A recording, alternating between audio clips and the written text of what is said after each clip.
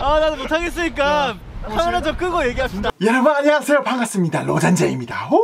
일단 저번에 투표해주신 점 정말 감사합니다. JTBC 워너비 이제 2차 미션 2차 투표를 이제 받아야 하는 거예요. 이번에는 개인전 영상이라서 온전히 저만의 콘텐츠로 승부를 했고요. 기발한 영상과 함께 찾아왔습니다. 친구 팔아가지고 한번 살아남으려고요. 여러분들 저번과 마찬가지로 이 아래쪽에 영상 설명해 보시면요. 제가 링크 주소를 놨고요.